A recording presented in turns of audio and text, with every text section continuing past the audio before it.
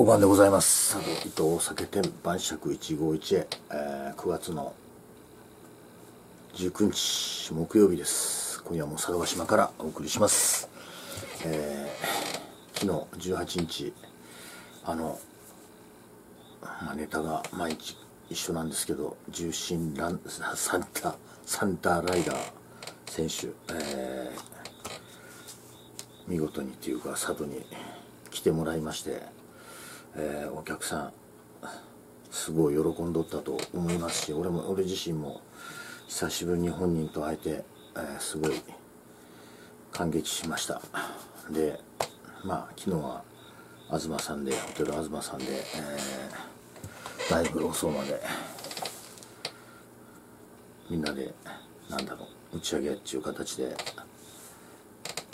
やりまして今朝まあ店来てくれや行き行きますからつって言うてくれて10時過ぎぐらいだったかな。お店に、えー、まあ当然素顔のまんまで来てくれました、えー、やっぱやっぱりあのー、かぶり虫取る時に話すのだとなんかちょっと感じがちょっとなんか違うなという感じで、えー、素顔のまんまだとなんちゅうかやっぱり昔に戻れるようなそんな感じがして、うん。ちと楽に喋らせてもろて。まあ当然酒は飲んでねもう酒は冷めとって、えー、まあ、すっきりした顔で向こうも来てくれまして、ね、店に来てでまあ店の中眺めてでまあ土産としてせっかく来てもろたもんで、えー、大河さん手ぶらで返すわけにはいかんぞということでまああの里のまあ代表になるかどうか分かりませんけどまあ2つの銘柄のこの酒を持って持っていってもらいました。はい。まあえー、帰って母ちゃんとっていうか奥さんと2人で飲んでくれやって言うたらいや母ちゃんざるざるざるじゃねえってなんかもっとすごい表現しとったんだけどだもんでみんな飲まれてしまいますわいっちゃな感じで言うてまあおそらく2人で一緒に飲んでもらえるとは思うんですけども。はい。それで、えー、あの AWGP のメンバーの車で両津まで行きました、はい、なんか大きな波がスーッと引いていってしもたようなそんな感じはするけどまあまたそのうち、えー、それこそ引退して時間ができたら、えー、奥さんと2人で佐渡へ来てくれやと。いうことをお願いというか、まあ言うておきまして、まあそのうち来てくれるだろうなと思っております。ね、ということで、えー、今日はまあ本当それでなんか、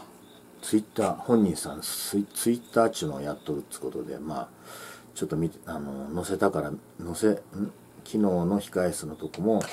映したから載せてあります、見てくださいって感じのと、今日のこの店の入り口正面トップの母ちゃんと2人で並んどる写真を写してくれて、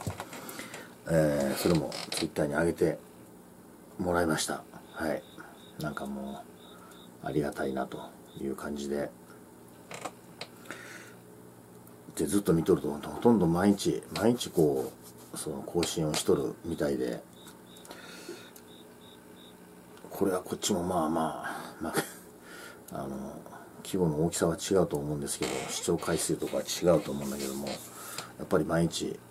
1日3本ぐらいはあのこれ動画上げんきゃならんなということで、えー、何が何でも頑張ってと言うてもどうしても寝てしまうことあって1日1本しかとか休んでしまうこともあるんですけどまあなんやかんやで喋りながら、えー、雑談とか、まあ、さっきの話を